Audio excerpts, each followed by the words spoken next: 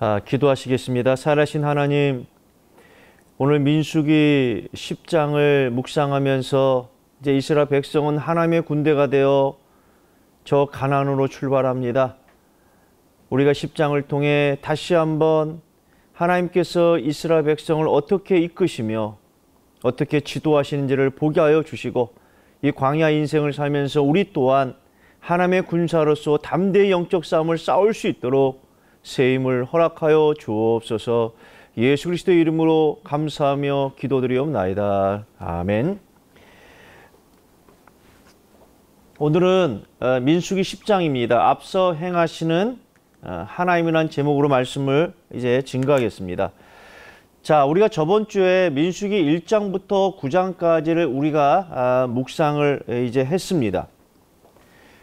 자, 이스라엘 백성이 430년 애굽의 노예가 됐습니다. 그리고 이제 이스라엘 백성이 살고 있었던 아, 이 고센, 이 고센에서 출발해서 45일 만에 시내산, 다른 말로 하면 호렙산에 도착을 했습니다.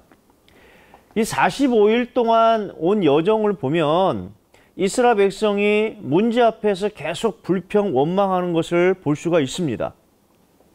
자, 그들이 이제 시내산에 머물었습니다. 11, 11개월 20일 동안 시내산에 있으면서 하나님이 제일 먼저 주신 것이 10계명 그리고 10계명의 시행 규칙 70여 가지의 말씀을 주셨어요.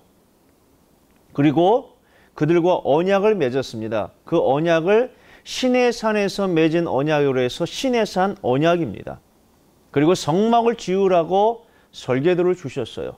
그 설계대로 성막을 이스라엘 백성이 완공했습니다. 그때가 출애굽한 지 2년 1월 1일 날 성막이 이제 완성이 됩니다. 그러면서 민수기는 2월 1일부터 이제 시작이 됩니다. 민수기 1장에 보면 자, 2월 1일 날 하나님이 제일 먼저 주신 메시지가 뭐냐면 군대를 개수하라 이렇게 말씀하십니다. 자, 45일 동안 걸어서 시내산에 도착한 이스라엘 백성은 평민이에요. 그들에게 말씀을 줬습니다. 그리고 성막을 주셨어요. 이제 그들을 하나님은 군대로 만들기를 원합니다. 그래서 20세 이상 전쟁에 나갈 만한 자를 개수했더니 60만 3,550명.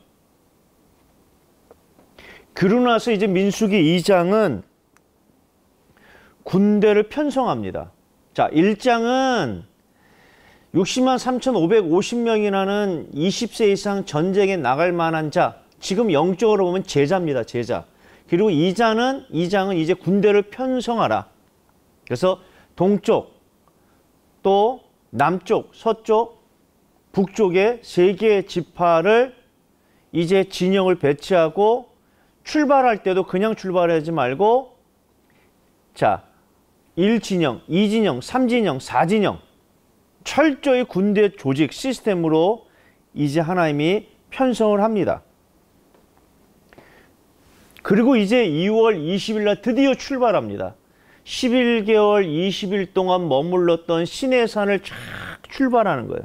자, 출발할 때 중요한 것이 남자만 20세 이상 전쟁에 나갈 만한 자만 60만 3,550명입니다. 그 20세 이상 되는 여자는 얼마나 되겠어요? 20세 이하의 사람은 얼마나 되겠습니까? 평균적으로 보면 200만이 넘는 인구입니다. 그 인구를 어떻게 통솔할까? 하나님의 군대를 무엇으로 통솔할까? 이게 오늘 10장에 나온 내용입니다. 은, 나팔, 둘을 만들되 두들겨 만들어서 그것으로 회중을 소집하며 진영을 출발하게 할 것이라. 하나님이 은, 나팔 두 개를 만들라고 말합니다. 하나님의 성막에서 구름이 떠오르면 그 구름을 본 200만이 넘는 이스라엘 백성은 이제 출발하기 위해서 준비합니다. 그리고 제사장이 은나팔을 불면 드디어 어떻게 해요? 이스라엘 백성이 쫙 출발하게 되는 거예요. 그런 관점에서 여러분들이 이 민수기 10장을 보시기 바랍니다. 그 첫 번째가 은나팔 두 개로 회중을 소집. 자, 1절 2절에 보니까 여호와께서 모세에게 말씀하여 이르시되 은나팔 둘을 만들되 두들겨 만들어서 그것으로 회중을 소집하며 진영을 출발하게 할 것이라. 자, 60만의 군대와 그의 백성들을 통솔하기 위해서 이 목소리, 육성으로는 불가능해요. 그래서 하나님께서는 나팔 소리로 통솔할 수 있도록 은나팔 두 개를 만들라. 자, 그래서 이스라엘 백성이 각각의 텐트 안에 있습니다. 이때 하나님의 성막에서 이제 구름이 올라오면 전체 이스라엘 백성들은 텐트를 정리합니다. 출발 준비합니다. 그때 이제 은나팔 두 개를 부는 제상들이 나팔을 불면 이제 출발해요. 맨 앞에는 뭐가 출발합니까? 언약계가 출발합니다. 자, 우리가 민수기 1장부터 9장에서 우리가 제가 몇 번 설명했지만 이제 제일 먼저 언약계가 출발할 때 고앗 지파의 사람들이 이 뜰채로 맵니다. 근데 원래는 근데 이렇게 돼 있지만 이렇게 출발하지 않고요. 언약계를 보면 죽습니다. 그래서 맨 안쪽에는 성소와 지성소를 가렸던 휘장이 있거든요. 그 휘장을 덮고 해달의 가죽으로 두 번째 덮고 마지막 어떻게 해요? 순청색 보자기를 덮습니다. 순청색, 청색은 하늘의 색깔이에요. 하나님을 상징합니다. 그래서 이 순청색 보자기로 덮인 이 언약계를 보면 자, 이스라엘 백성이 이제 출발하게 되는 거예요. 왜 하나님께서는 은나팔 두 개를 제작하라고 하셨는가? 이유가 있습니다. 은나팔을 통해서 이스라엘 백성이 어떻게 해요? 이제 하나님의 음성을 확인하면서 세밀하게 지시 받을 수 있도록 하나님께서 은나팔을 만들려고 하셨거든요. 자, 나팔 두 개를 만들었습니다. 제상이 불 때는 온 회중이 회막 문 앞에 모여서 내게로 나올 곳이며 그러니까 나팔을 두 개를 동시에 불 때는 자 회막 앞. 자 우리가 이제 말씀드렸지만 이게 성막입니다. 성막. 거룩한 집이에요. 집. 성막. 또 회막이라는 표현도 씁니다. 회막이란 뭐냐면 이스라엘 백성이 이 성막 중심으로 모일 때는 회막이라는 용어도 써요. 또 장막이라는 표현도 씁니다. 제가 말씀드렸지만 이것은 그림이고요. 이것이 100규빗, 100규빗이면 거의 한 50m, 50규빗, 한 25m. 이 성막 중심으로 어떻게 해요? 동쪽에 세개 지파, 남쪽에 세개 지파, 서쪽에 세개 지파, 북쪽에 세개 지파가 형성이 됐습니다. 그래서 나팔을 제상이 두 번 불 때는 온 회중이 이제 성막 근처로 모이고 한 번 불 때는 지휘관들, 천부장된 지휘관들이 모이라고 하나님께서는 이제 말씀하셔요. 그리고 이 나팔의 신호는 무슨 의미가 있냐면 첫 번째는 소집하는 신호예요. 두 개의 나팔을 동시에 불 때는 전체 이스라엘 백성들이 회막물에 모일 때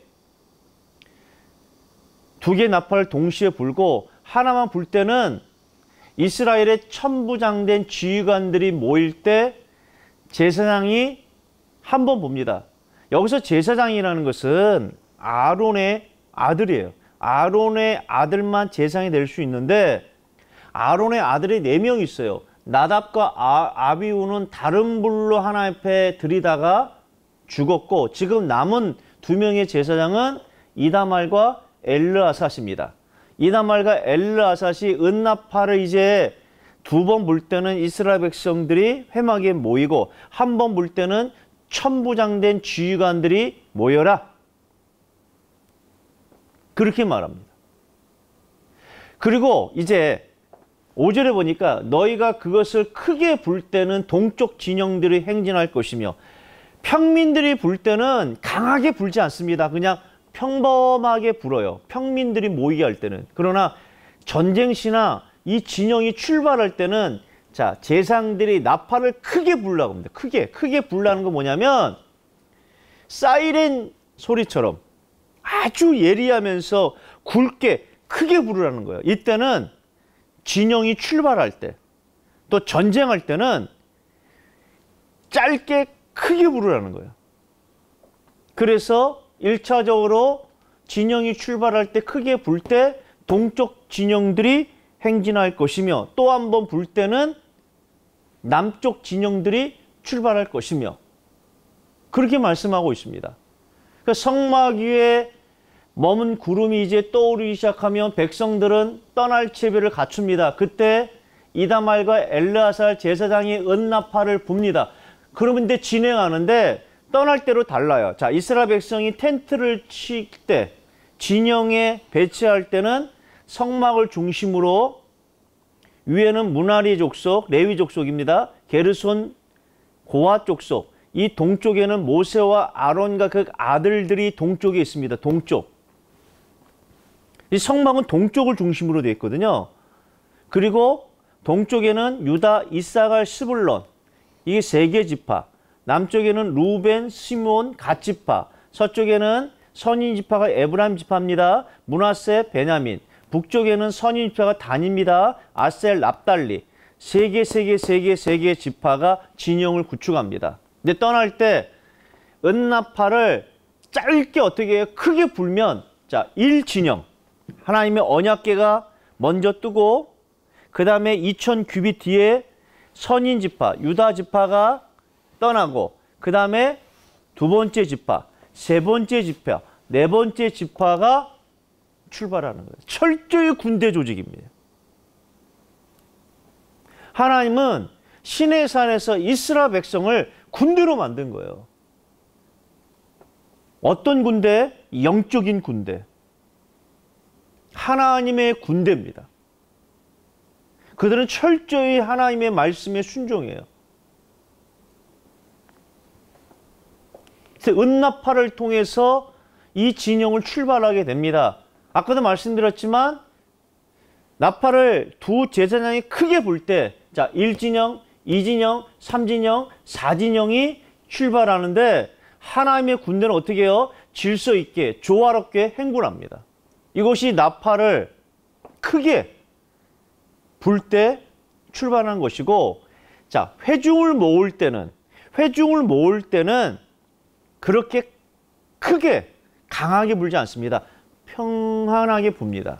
실제로 보니까 또 회중을 모을 때에도 나팔을 불 것이나 소리를 크게 내지 말며 그 나팔은 아론의 자자, 제, 자손인 제상들이 불지니 이는 너, 너희 대대의 영원한 균례니라. 자, 백성을 소집할 때는 전쟁 수행시나 진영의 이동 시처럼 강렬하게 높이 울려 불어서는 안 됩니다. 그냥 평탄하게 같은 높이의 소리로 불러야 돼요. 이유는 왜 그렇죠? 자, 백성을 소집할 때는 대체로 제사를 드리거나 이스라엘 백성들이 1년 동안 7번의 절기가 있거든요. 그 절기를 소집할 때 나팔을 봅니다. 이때는 강하게 불지 않아요. 그냥 평탄하게 같은 높이의 소리로 붑니다. 이 소리를 들은 이스라엘 백성들은 어떻게 해요? 그때 이제 모입니다. 8절에 보니까 그 나팔은 아론의 자손인 제상들이 불지니 이는 너희 대대 영원한 율례니라. 그러니까 하나님께서는 나팔을 아무나 부는 것이 아니라 아론의 자손인 제상들만 불 수 있도록 이것을 율례화 시킨 거예요. 법으로 정한 겁니다. 또 너희 땅에서 너희가 자기를 압박하는 대적을 치러 나갈 때는 나팔을 크게 불지니 그리하면 너희 하나님 여호와가 너희를 기억하고 너희를 너희 대적에게서 구원하시리라. 이 나팔은 아론의 직계 후손만 불 수 있는데 전쟁을 나갈 때 이 나팔을 불면 내가 기억하리라. 그 이스라엘 백성이 가나안 정복할 때 그 시작은 뭡니까? 나팔을 불었거든요.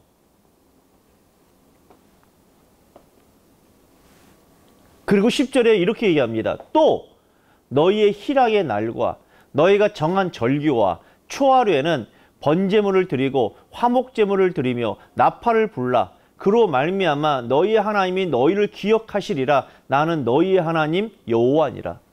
하나님께서는 이 나팔을 만들 때 이것이 아론의 직계 제사장만 불어라. 불 때 전쟁을 나갈 때 불면 내가 기억하고 또 이스라엘 백성들의 특정한 날이 있어요. 기념일이 있습니다.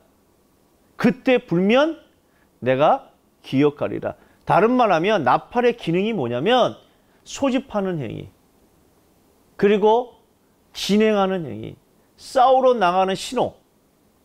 자, 소집할 때는 소집할 때는 아까 있죠. 제사나 절기를 소집할 때는 나팔을 세게 불면 안 됩니다. 불 때 평탄하게 같은 소리의 이 소리로 불어야 되고 그러나 크게 불 때가 있어요. 뭐 사이렌 경보처럼 크게 불 때는 뭐냐면 진영이 출발할 때 혹은 전쟁을 향해서 돌격 앞으로 할 때는 이 나팔 소리가 크고 짧고 그 사이렌처럼 굉장히 강하게 불라고 합니다. 그 나팔을 불때 내가 기억하리라.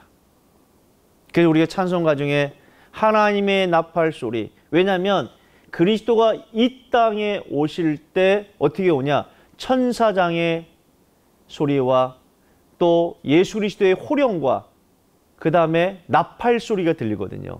이 천사장들이 그리스도가 오신다 호령하시고 또 나팔이 불고 또 예수 그리스도의 음성이 들린다고 그랬어요. 자, 은나팔의 재료는 뭡니까? 은입니다. 그러나 특이한 게 뭐냐면 두들겨서 즉 쳐서 만들어라. 그 성경에서 조각조각 붙여서 만들 것이 아니라 이거를 하나를 쳐서 만들어라. 쳐서 만들 수 있는 건 등대입니다. 등대. 그리고 그룹. 즉 언약계 위에 속죄소 그룹. 그 다음에 은나파는 일일이 어떻게 해요? 쳐서 두들겨서 만들어라. 이것이 은나팔의 재료입니다.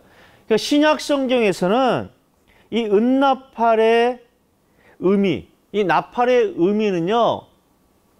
그 첫 번째가 고린도전 14장 8절에 보니까 만일 나팔이 분명하지 못한 소리를 내면 누가 전투를 준비하려? 나팔을 하나님의 말씀으로 해석합니다. 두 번째는 뭐냐?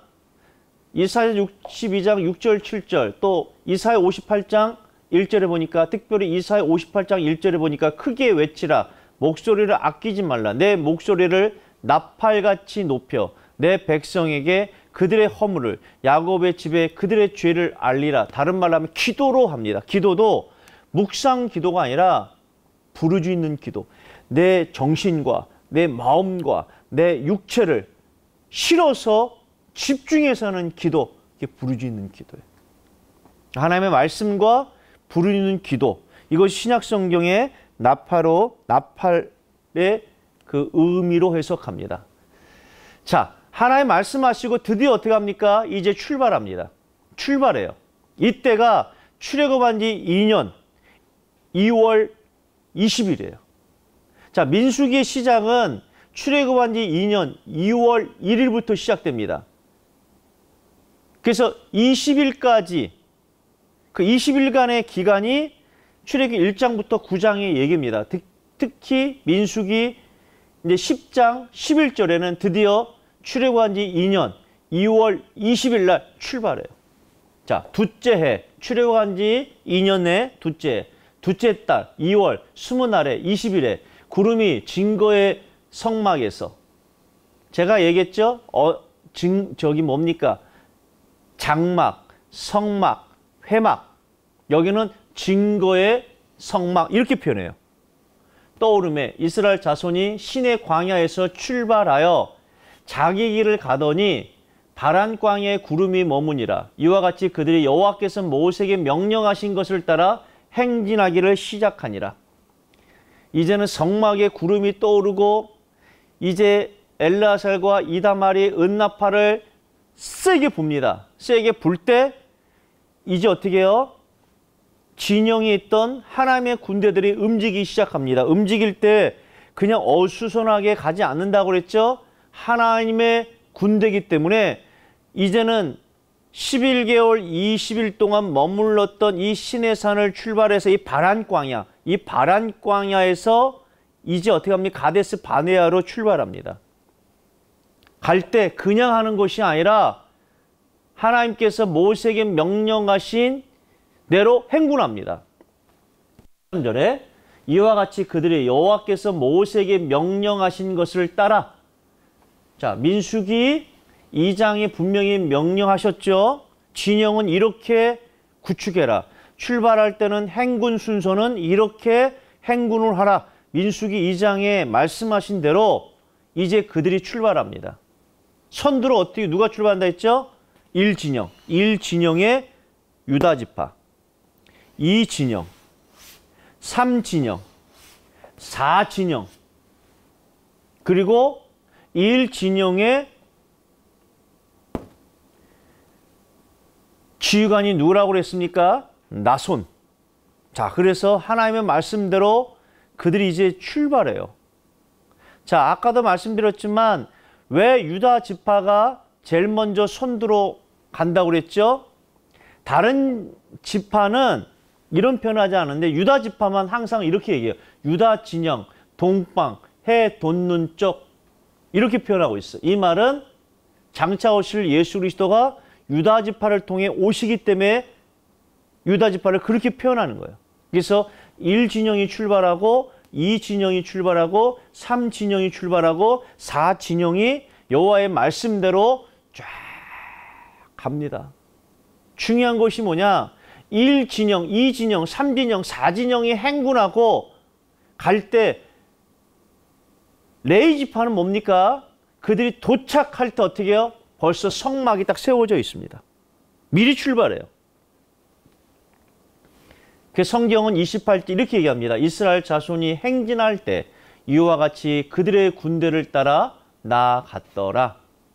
하나님께서 하나님의 군대를 철저하게 간섭하시고 인도하시는 것을 볼 수 있어요.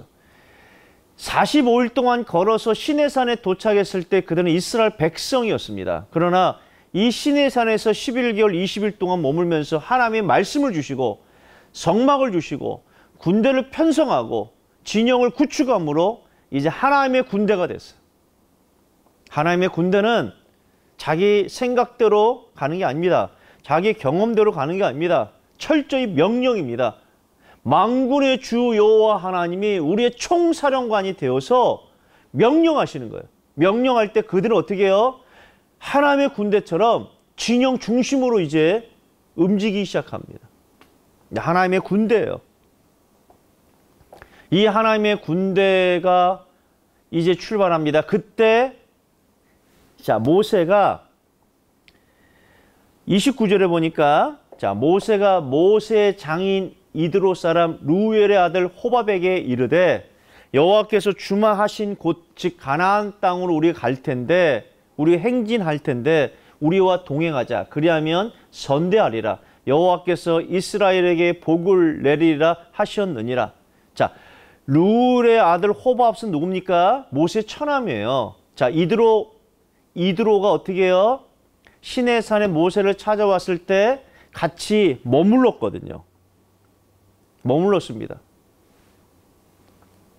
지금 같이 있었던 거예요. 모세가 어떻게 해요? 처남한테 호밥한테 동행합니다. 우리와 동행하자. 왜 동행을 원했습니까? 그들은 광야에 사는 민족이기 때문에 광야길을 정확하게 알아요. 당신이 우리와 같이 가서 우리를 광야에서 좀 안내해 줘라. 그럼 우리가 선대할 것이다. 이때 호밥이 거절합니다. 30절에 보니까 호밥이 그 얘기를 이래 나는 가지 아니하고 내 고향 내 친족에게로 가리라. 거절합니다.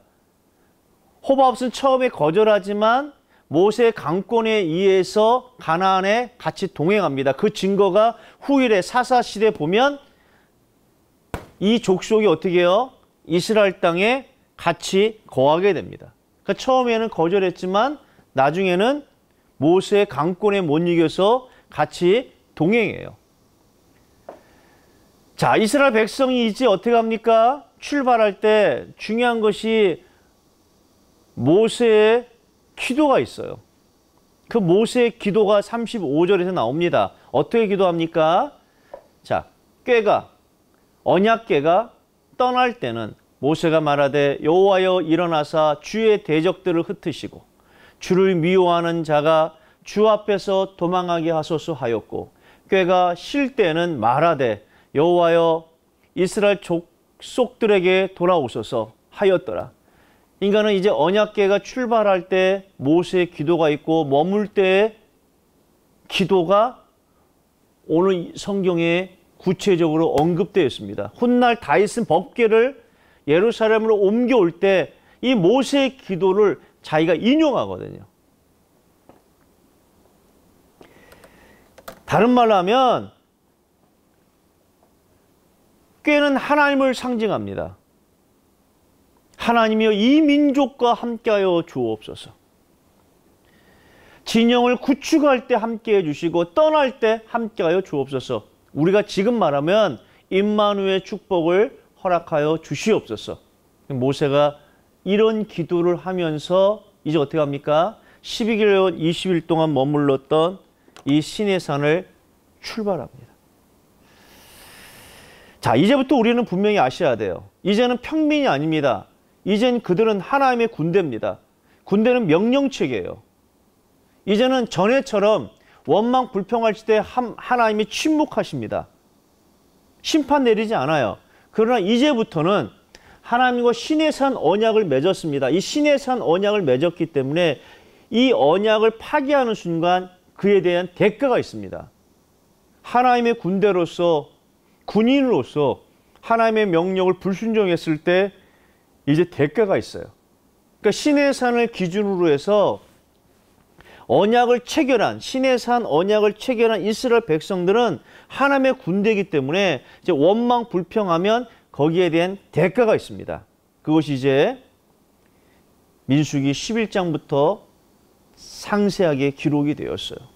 자, 1장부터 9장까지는 우리가 이스라엘 백성들은 그냥 430년 애굽에서 탈출한 난민의 수준입니다. 평민의 수준이에요. 그러나 신의 산에서 하나님의 군대가 됐기 때문에 이제는 군대입니다. 군대. 군대라는 관점에서 보셔야 돼요. 명령을 어겼다. 불순종했다. 거기에 대한 대가가 있습니다. 이제 하나님의 군대에 대한 하나님의 보시는 관점이 다르다는 것을 여러분들이 아시고 민수기 10장부터는 하나님의 군대라는 관점에서 보시면 될 것 같습니다. 한 주간 승리하시고 민수기 속에 나타난 그리스도의 비밀을 날마다 깨닫는 여러분 되기를 예수 그리스도의 이름으로 축복합니다. 하나님 감사합니다. 민수기 10장을 통해 11개월 20일 동안 머물렀던 신의 산을 출발합니다. 전에는 이스라엘 평민이었고 아무 힘이 없는 자였지만 하나님이 11개월 20일 동안 머물면서 말씀을 주시고 성망을 주시고 또 하나님의 군대로 편성하고 또 하나님의 백성으로서 성결 규례와 규칙을 주셨습니다. 이젠 하나님의 군대입니다. 이 하나님의 군대가 하나님의 명령에 순종하면서 이제 신의 산을 출발합니다. 하나님께서 이 백성을 인도하신 것처럼 우리의 삶을 인도하여 주시고 이 백성에게 함께한 것처럼 우리에게도 함께하여 주셔서 날마다 임마누의 축복을 누리는 모든 분들 대기하여 주옵소서. 지금은 우리 주 예수 그리스도의 은혜와 하나님의 극진한 사랑과 성령의 내주고통 역사하심이 11개월 20일 동안 신의 산에서 하나님의 군대로 만드시고 이제 광야로 출발하는 그 인생과 함께 하신 하나님 우리에게도 동일한 은혜를 주시고 예측 못할 이 세상에서 하나님이 함께 하시는 임마누의 축복을 마음껏 누리기를 원하는 또 체험하기를 원하는 하나님 백성들과 우리의 사역 위에 우리의 가정 위에 이제부터 영원토록 함께 계실지어다. 아멘.